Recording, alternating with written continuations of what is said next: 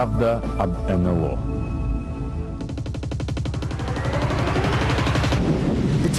Эта поразительная история произошла среди песков и сорной травы в мексиканской пустыне. Уже давно ходили слухи о том, что некий объект потерпел крушение в Мексике. В 1974 году произошел загадочный инцидент, в котором, как некоторые считают, были замешаны НЛО и небольшой самолет. Предположительно, они столкнулись.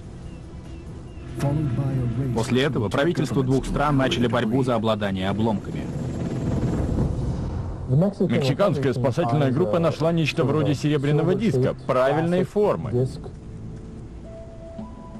Мексиканские военные накрыли материей некий объект и поместили его в грузовик. Впоследствии все эти люди таинственным образом погибли. Правительство США отреагировало очень быстро и очень организованно. Мексиканский росп. Коямы, Мексика. Этот маленький город даже не обозначен на некоторых картах. Город, медленно поглощаемый мексиканской пустыней.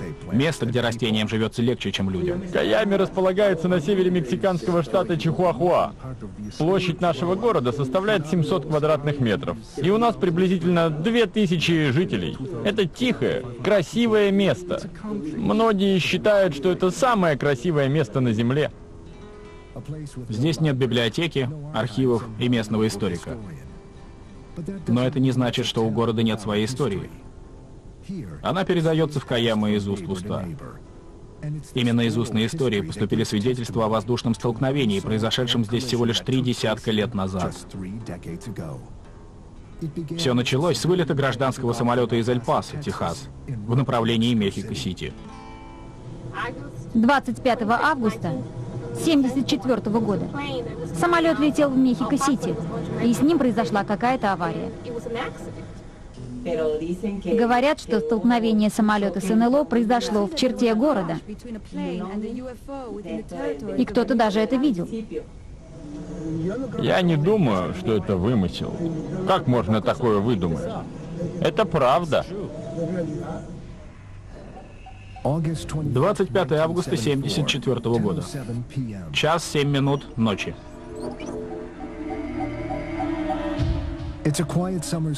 Тихая летняя ночь Каямы. Городские обитатели начинают готовиться ко сну. На расстоянии 800 километров от города системы ПВО США неожиданно обнаруживают неизвестный объект, несущийся над Мексиканским заливом со скоростью 4000 километров в час на высоте 25 километров. Об объекте определенно можно сказать только одно. Он не был создан человеком. Сначала диспетчерам показалось, что это просто метеорит. Но через минуту стало ясно. Это нечто совсем иное. Объект спускался и передвигался рывками. Это не было похоже на метеорит. Ведь метеориты спускаются только по дуге. Казалось, что объект держит курс на корпус Кристи, Техас. Американские ПВО были приведены в боевую готовность. Вскоре неопознанный летающий объект изменил направление, повернув налево, и вошел в мексиканское воздушное пространство, всего в 80 километрах к югу от Браунсвилля, штат Техас. США продолжали наблюдать за этим странным космическим кораблем, проносящимся теперь уже над Мексикой. Однако радару не удалось зафиксировать небольшой самолет, следующий прямо навстречу НЛО. А знаете, чем еще интересен этот случай? Примерно в то же самое время из Эль-Паса по направлению к Мехико-Сити летел еще один самолет. Вот так вот. Под покровом ночи этот частный летательный аппарат из Эль-Пасо направлялся к мексиканской столице.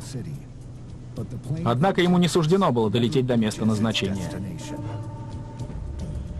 В то же самое время американские военные увидели, как неопознанный летающий объект исчез с экранов радара. Случилось непредвиденное.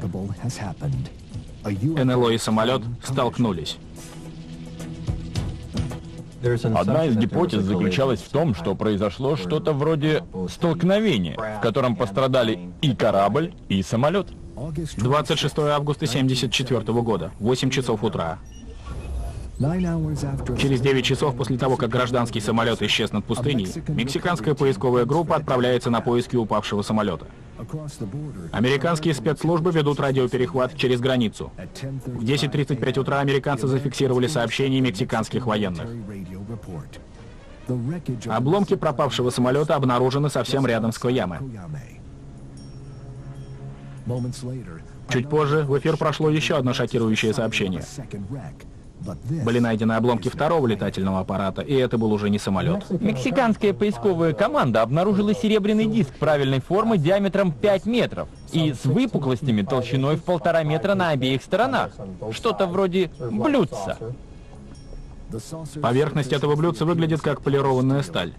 На ней нет никаких маркировок и надписей. Тела внутри не обнаружено.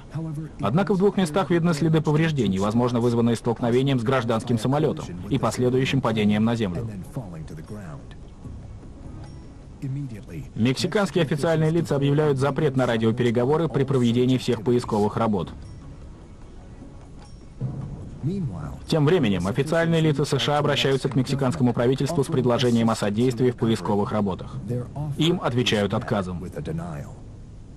Как всегда, мексиканцы все отрицали. Они сказали, что это всего-навсего крушение самолета.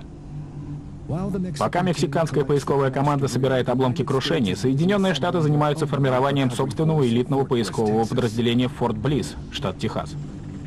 Это подразделение включает в себя четыре вертолета, три самолета-истребителя и большой морской вертолет «Сталион». Это подразделение, полностью обученное и готовое приступить к заданию в любой момент, ждало своего часа, пока разведка США прощупывала ситуацию. США снова держали ситуацию под контролем с помощью шпионажа. Но это не только шпионы. Это и космическая система наблюдения со спутника, и самолеты, кружащие на небольшой высоте. То есть целая сеть. Как становится известно американской разведке, мексиканцы поместили НЛО на платформу грузовика и увезли его с места катастрофы. Американцы смогли разглядеть несколько мертвых тел, из чего они сделали вывод, что там имело место насилие, причем необъяснимое. 27 августа в 2 часа 38 минут военные, до конца не понимая, что же произошло, дали зеленый свет своей поисковой бригаде. Четыре вертолета немедленно вылетели из Форт Блисс. Одно абсолютно очевидно в этой истории. Правительство Соединенных Штатов отреагировало очень профессионально, очень быстро и очень организованно. У них была готова команда Форт Близ, которую мгновенно перебросили на место происшествия. Проделывать такое им было не впервой. Но ничто не подготовило американцев к тому, что они обнаружили.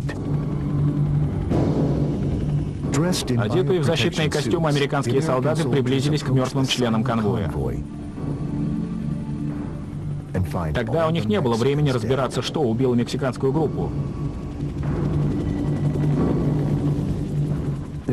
Однако у исследователей НЛО имеются свои теории на этот счет.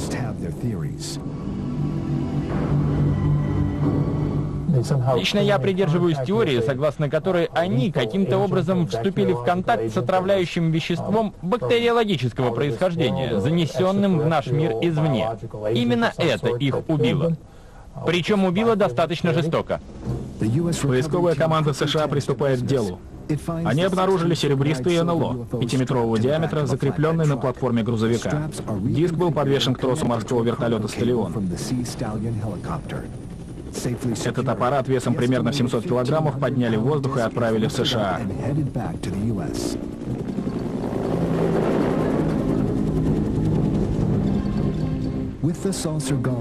Разобравшись с транспортировкой объекта, военные начали расследование обстоятельств гибели мексиканского конвоя.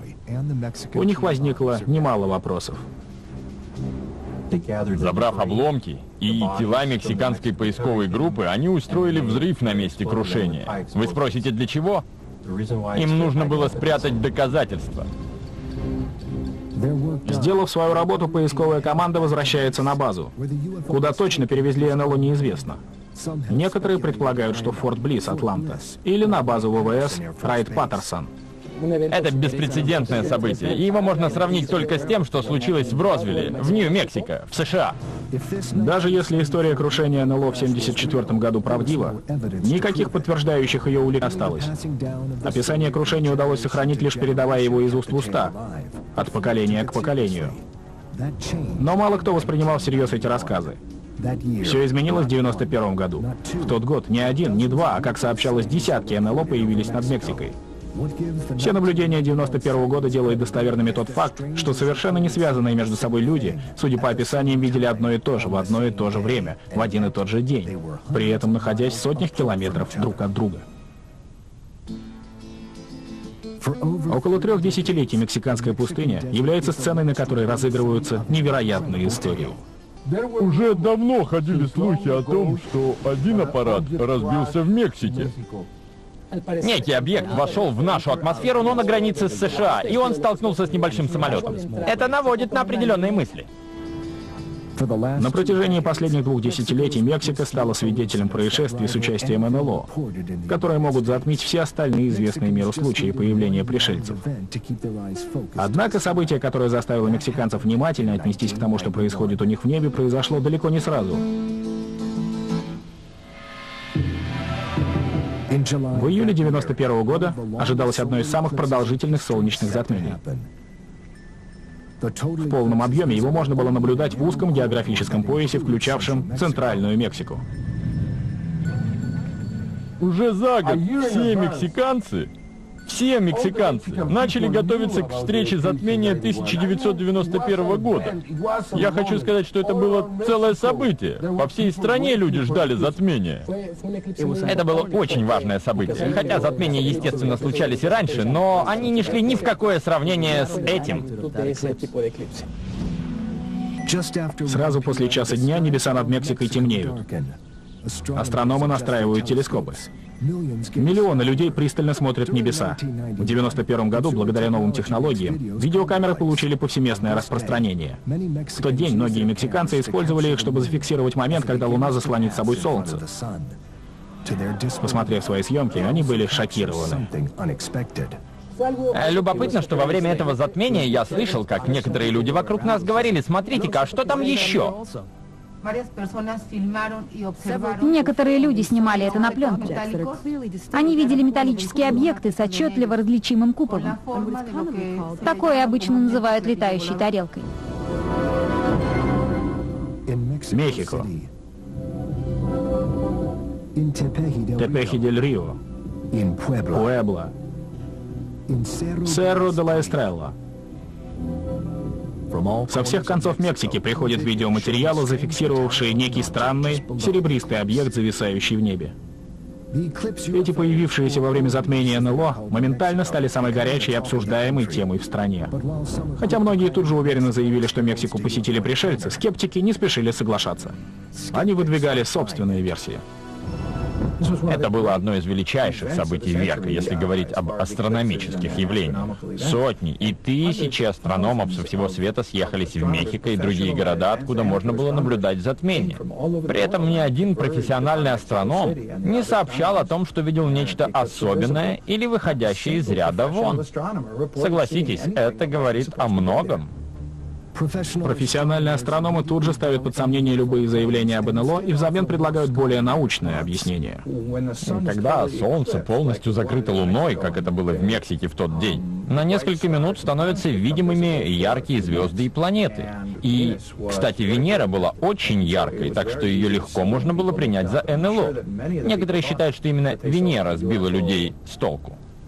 Однако сторонникам теории НЛО такое объяснение скептиков представляется сомнительным. Поскольку так много людей в разных городах зафиксировало эти объекты, некоторые предположили, что это была планета Венера.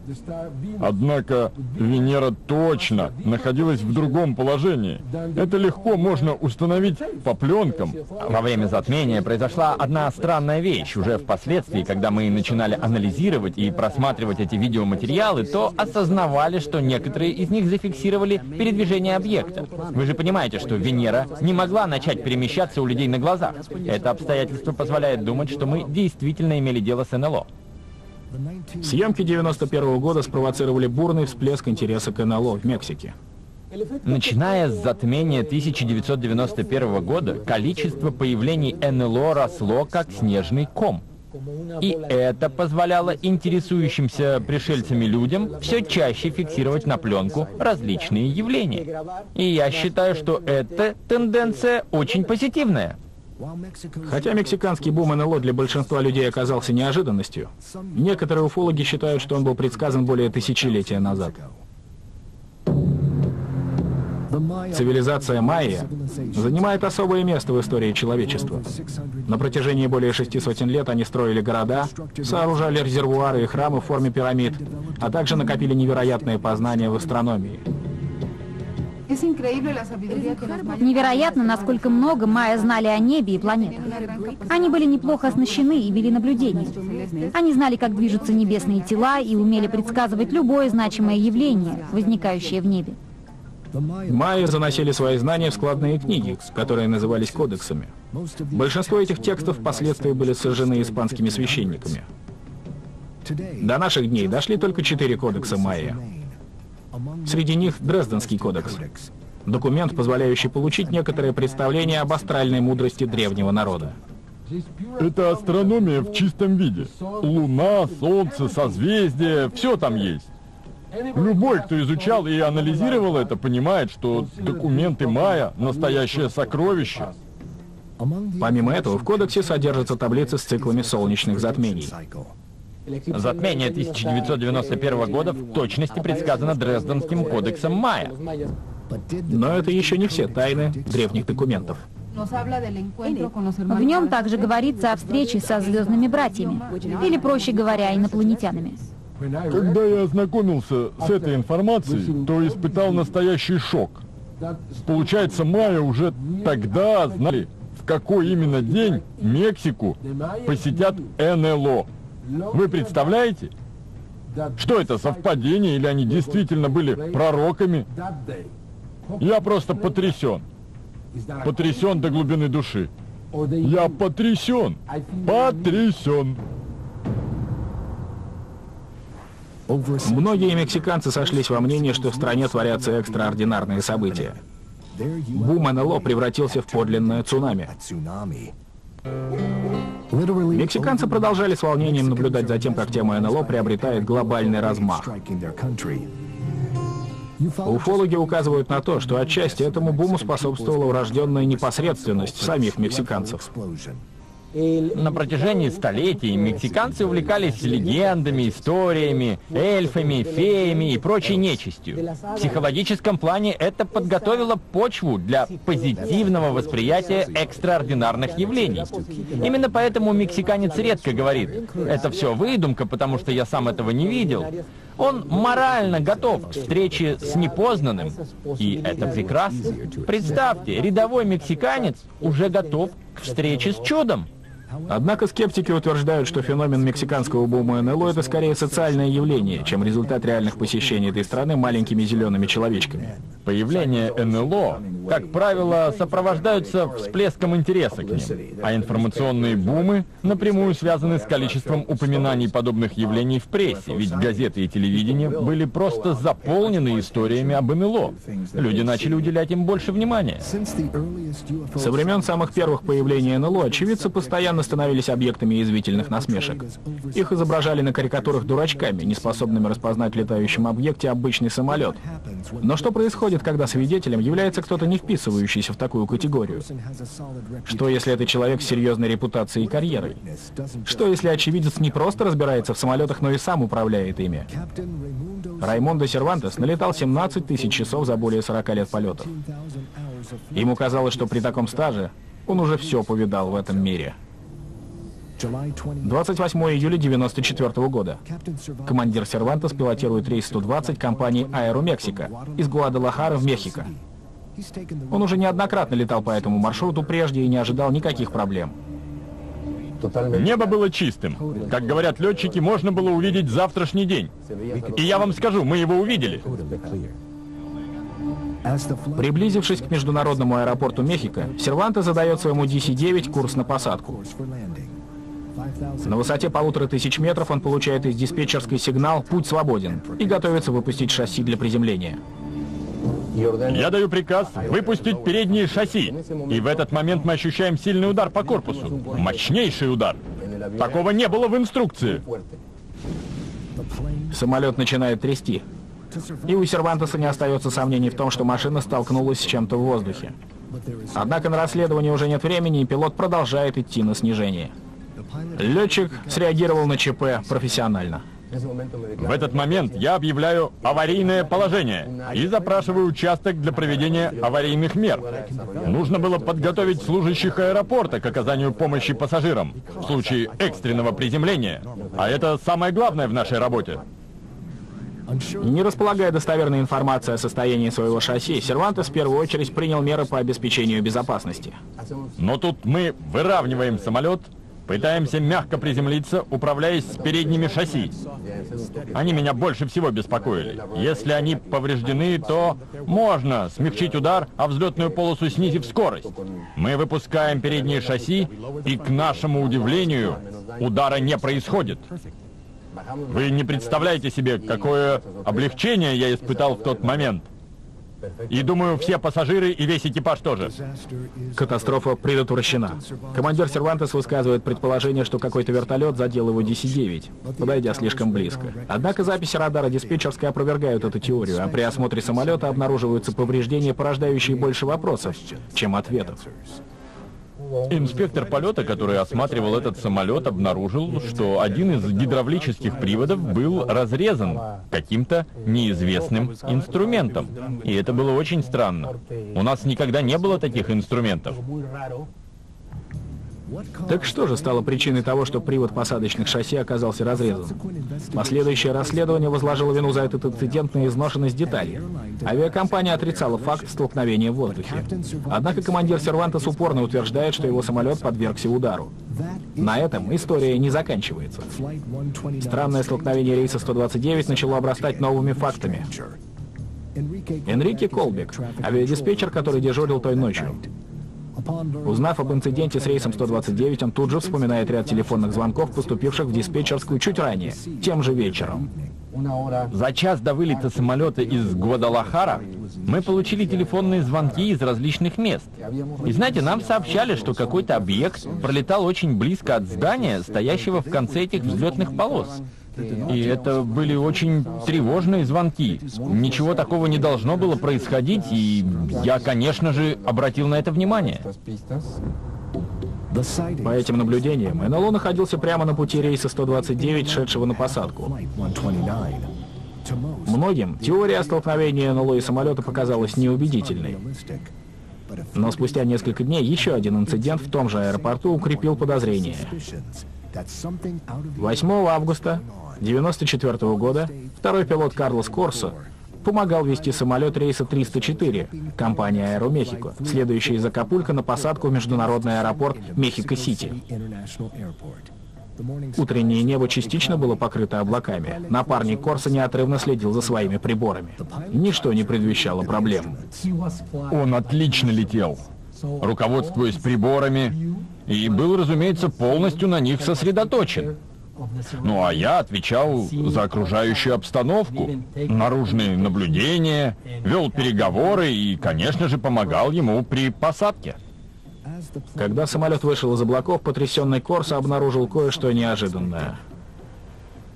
Мы снижались с 4000 метров. Только-только вышли из облаков, и тут я вижу этот большой объект перед нами — я действительно испугался. Я подумал, что мы столкнемся, и у меня вырвалось неожиданно для всех. Господи, мы сейчас в него врежемся. Загадочный объект стрелой промчался мимо, чуть не задев нос самолета. Это был огромный объект. Его длина составляла 15, 20, 25 метров. Из какого-то материала вроде платины или другого но точно чистого, без примесей металла. Корсо быстро вернулось самообладание, и он помог посадить самолет без каких-либо инцидентов. Позже он рассказал о том, что наблюдал авиадиспетчеру. Тот, в свою очередь, признался, что Корса был пятым за неделю пилотом, сообщившим о необычном объекте в небе. Я могу доложить вам. Примерно 99% летчиков, с которыми я говорил, верят, что мы во Вселенной не одни. И доказательства, которые у нас есть, подтверждают это. Мы относимся к этому очень серьезно. Потому что пришельцы способны оказывать влияние на воздушное пространство Мексики. Я абсолютно уверен, существует потенциальная опасность. Мы не знаем, что порождает этот феномен, как он проявляется и почему исчезает. Почти 10 лет спустя, еще один случай, связанный с небом Мексики, потряс весь мир. В отличие от предыдущих контактов, в этот случай верят абсолютно все, включая мексиканское правительство. Каждый год, в ночь на 15 сентября, они собираются вместе.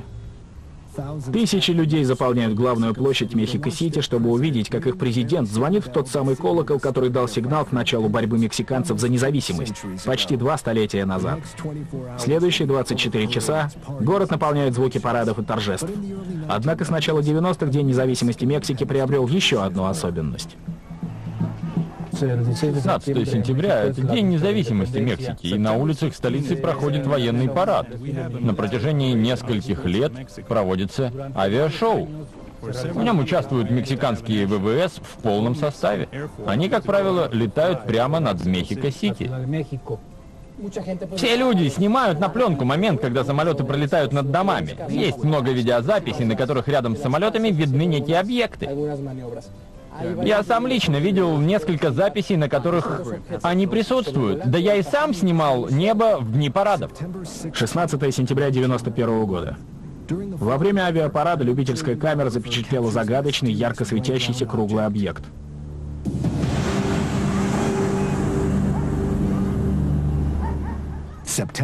Ровно год спустя на том же месте очевидцы наблюдали другое НЛО в небе.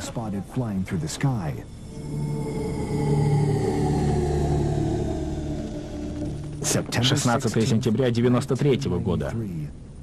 Во время маневров подразделения военных вертолетов серебристый объект был пойман на пленку, лавирующим между ними. Три года, три появления.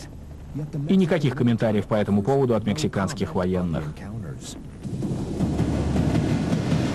Когда начиналось обсуждение появления НЛО во время парадов, мексиканское правительство не высказывалось ни за, ни против.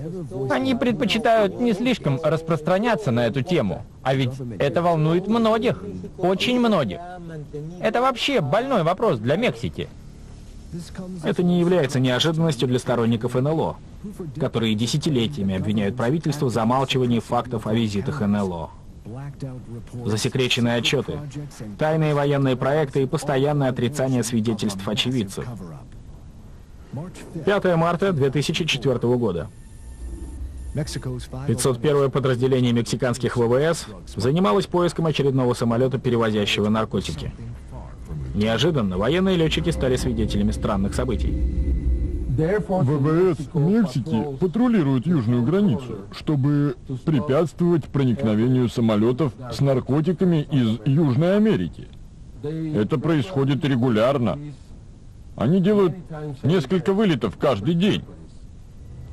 Но в этот день все было по-другому. В ходе дневного инспекционного полета военные заметили что-то на своих радарах. Они предположили, что это самолет наркоторговцев и последовали за ним. Наблюдая за объектом, они заметили, что скорость его движения неравномерна. Иногда она достигала более 600 км в час. В ходе преследования экипаж использовал систему инфракрасного слежения или ФЛИР. Это что-то вроде камеры. Она монтируется на самолете и служит для того, чтобы вести наблюдение не в диапазоне видимого светового спектра, как обычная камера, а в инфракрасном диапазоне. Инфракрасные объективы флира, установленные снаружи самолета, передают сигнал экипажу для наблюдения за тем, что происходит в реальном времени. Однако, приблизившись к загадочному объекту, патруль так и не смог ничего зафиксировать. И это окончательно деморализовало летчиков. Все время, пока они летели в направлении объекта, военные смотрели прямо по курсу, поскольку радар указывал именно это направление. Но они так ничего и не обнаружили. Вскоре выяснилось, что топливо у патруля на исходе, и продолжать погоню возможности нет. Военные направились обратно к базе, а неизвестный объект скоро исчез с радара. Но это было только начало. Оператор системы ФЛИР продолжил наблюдение и обнаружил яркие огни, которые появились на уровне облаков. То, что неожиданно появилось на флире, не было просто световым шаром. Периодически можно было видеть, как по крайней мере 11 объектов плавно летят сквозь облака. Члены экипажа были слегка испуганы. Они не могли понять, что происходит и с чем они столкнулись. Это был опытный экипаж, который летал в этом районе ранее. Систему ФЛИР они использовали уже почти два года. Но в тот день, как показывает запись переговоров в кабине, даже самые опытные пилоты занервничали. Пристегнуть ремни безопасности. Давай-ка посмотрим.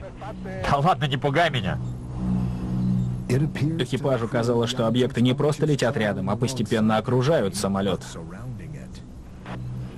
Оно движется на нашей высоте, это невозможно. Джентльмены, мы не одни. Да мы не одни, это верно, но, блин, что это такое? Они окружают нас? Затем световые шары неожиданно исчезли, а испуганные и озадаченные члены экипажа вернулись на базу. На протяжении последующих нескольких недель мексиканские военные проводили расследование этого инцидента. Членов экипажа опросили, все их показания тщательно проанализировали. Однако ответы так и не были найдены. Казалось, этому случаю была уготовлена судьба неразрешенной загадки, но один телефонный звонок изменил все и стал поворотным пунктом в истории НЛО. Мне позвонили и сказали, у нас есть то, что может вас заинтересовать. Ну, наконец-то. Мексиканский тележурналист Джайме Муасан является одним из виднейших экспертов в области расследования случаев появления НЛО. Впечатляющее резюме Муасана привлекло внимание мексиканского правительства, и оно обратилось к этому гражданскому репортеру с просьбой о помощи. Пойдя на беспрецедентный шаг, секретарь Министерства обороны Мексики передал в руки Муасана секретную видеозапись. Он дал мне эту пленку и сказал, пожалуйста, будь беспристрастен по отношению к военным, будь честен по отношению к пилотам, Будь добрым по отношению к народу. Проведи расследование. Отныне ты уполномочен провести независимую экспертизу. Муасану предоставили полный доступ к записи переговоров во время полета, сводкам погоды и, что самое важное, ему дали возможность встретиться с членами экипажа. Я беседовал с этими пилотами. Впервые в истории Мексики. Они рассказали мне все, что видели. Они были предельно честны и искренне и я верю им. Честное слово, я не понял, что я видел. До этого момента я ничего подобного не встречал в своей жизни. Вы знаете, это было что-то удивительное, и я немного испугался. Мне, конечно, стыдно за это, но это правда так. Мне было страшно. 11 мая Муасан собрал пресс-конференцию, чтобы ознакомить общество с полученной им информацией. Скептикам не понадобилось много времени, чтобы разоблачить теории уфологов. Их объяснения, как всегда, были весьма прозаичными. Говорили о шаровых молниях. Одна теория была связана с засекреченными военными разработками, это было любопытно. Некоторые скептики и противники теории НЛО предположили, что это был сбой оборудования. Объяснения появлялись одно за другим и также быстро отпадали. Лишь одно из них заслуживало особого внимания и вызвало немало споров. Многие ученые предположили, что на пленку засняли горение нефтяных скважин, которые расположены примерно в 100-120 километрах от места наблюдения. ТВ-3. Настоящий мистический. В инфракрасном диапазоне они казались сверкающими, раскаленными объектами. Конечно, невооруженным глазом они не видны, но в том и состоит назначение систем ночного видения, чтобы вы могли видеть тепловой отпечаток предметов. Неужели съемки системы Флер действительно зафиксировали горение нефтяных скважин?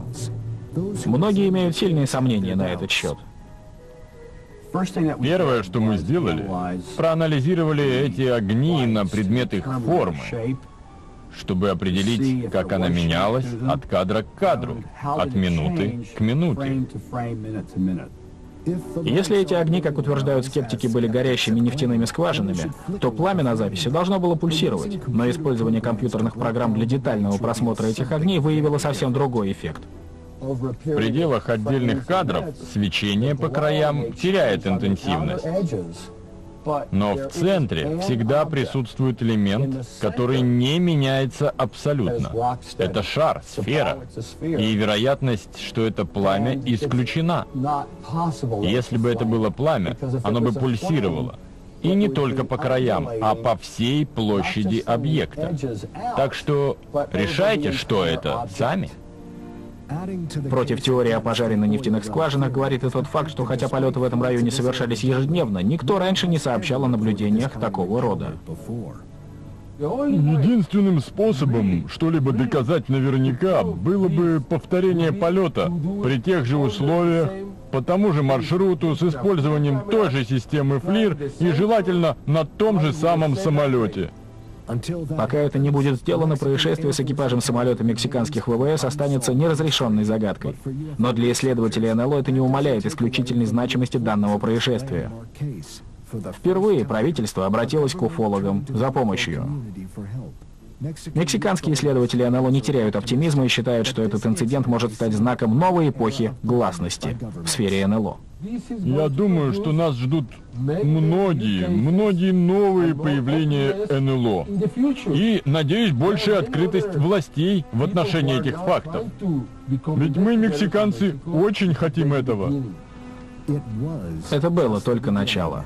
В 2005 году, когда казалось, что самые странные вещи в Мексике уже произошли, случилось невероятное.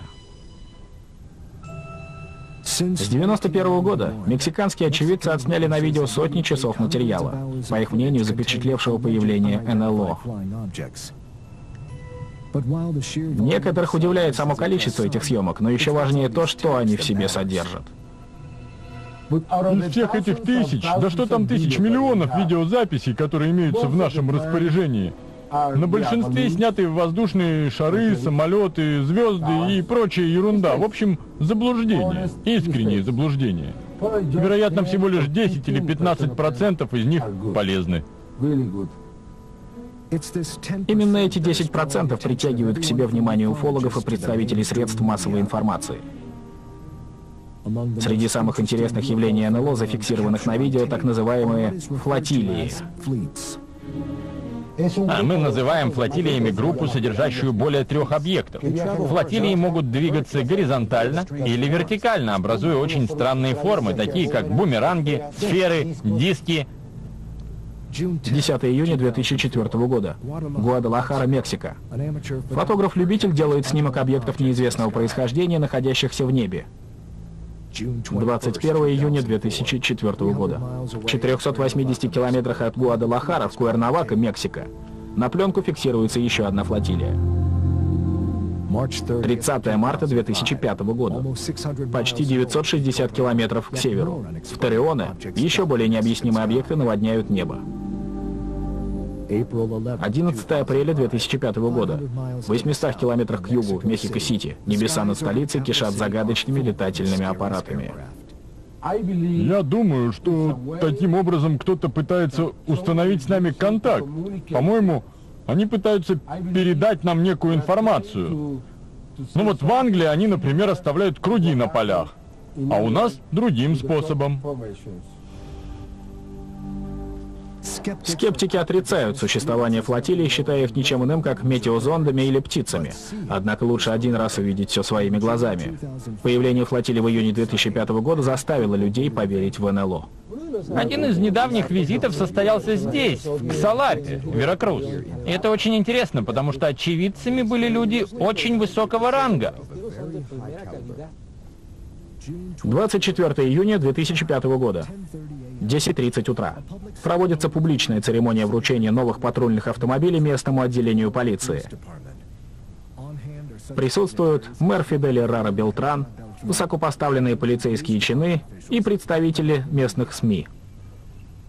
Через несколько мгновений после того, как мэр закончил свою речь, в толпе раздались крики «НЛО! НЛО!».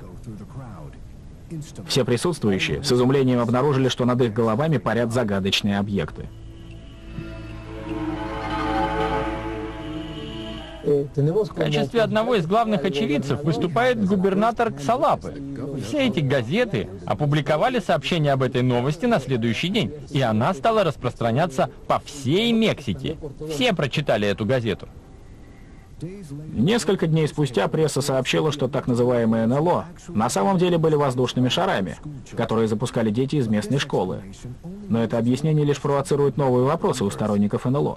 Если это были воздушные шары, то почему они висели в небе неподвижно в определенном порядке на протяжении более получаса? Как утверждает свидетель, это было нечто большее, чем просто 14 сферических объектов, переливающихся разными цветами в небе. Они образовали треугольное построение и оставались в таком положении 30 минут. Я думаю, что это выдающийся случай, потому что при этом присутствовали сам губернатор со всеми своими советниками и даже полицейские. Как вы докажете губернатору, что он не видел ничего странного? А? Попробуйте, попробуйте. Сами увидите, что будет. Именно этим явлением и была посвящена встреча специалистов по НЛО и многочисленных энтузиастов. Они съехались со всех уголков Мексики, чтобы обсудить бум свидетельств посещения страны пришельцами. По мнению этих мужчин и женщин, имевшие место контакты заслуживают пристального внимания и разъяснения. Среди рассмотренных инцидентов предполагаемое столкновение самолета с НЛО в 1974 году недалеко от Каямы, в Мексике. Когда погибли члены мексиканского конвоя, американские военные прибыли на место аварии, завладели объектом и все переправили к себе, в Штаты. Вся эта информация довольно скудная, однако некоторые данные, относящиеся к этому случаю, дают возможность предполагать, что там действительно что-то произошло. Может быть, может. Сейчас, три десятилетия спустя, в истории крушений в Куяме по-прежнему больше вопросов, чем ответов. Существуют ли факты, которые помогли бы нам разобраться в этой тайне? Сегодня любой заинтересованный в расследовании журналист или профессионал мог бы за день выездной работы все там разузнать. Поехать в этот городок, выявить всех очевидцев, подробно расспросить их, заплатить кому надо и суммировать факты. Хотя заплатить придется щедро. Это дело требует более тщательного изучения и совместных усилий ученых и экспертов по НЛО, как в Соединенных Штатах, так и в Мексике. В общем, это тот случай, который надо изучить весьма тщательно. История с первым появлением НЛО в Мексике до сих пор пополняется новыми фактами. Я недавно был в Чихуахуа и расспрашивал об этом случае. Ходят слухи, что существуют некие фотографии, связанные с инцидентом. Мне обещали, что я получу их, но тамошние жители до сих пор боятся. Такое впечатление, что они прячут эти снимки. Прячут и боятся. Боятся чего? Крушение на ловкой яме по-прежнему окутано тайной. Действительно ли это произошло в мексиканской пустыне более 30 лет назад? Стала ли мексиканская поисковая команда жертвой неведомого биологического оружия? Возможно, мы никогда не узнаем правды. Но мы можем смело констатировать, что за последние 15 лет Мексика регулярно сталкивалась с неведомыми нам силами. Для сторонников теории НЛО это золотой век контактов с инопланетянами. А пока жители Мексики с тревогой и надеждой смотрят в небо в ожидании новых загадочных визитов.